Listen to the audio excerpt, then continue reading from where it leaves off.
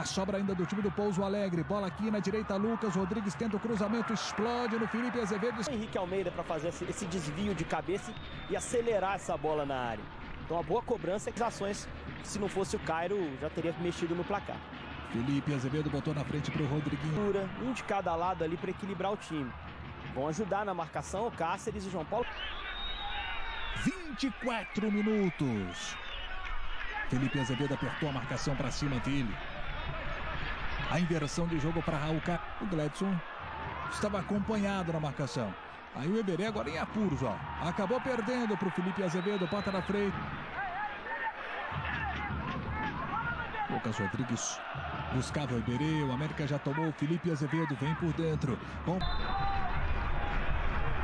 Escanteio cobrado pelo Juninho. A bola viajou para a segunda trave. Liberdade para o Felipe Azevedo. Ajeitou. Cáceres. Pedido de pênalti. E o árbitro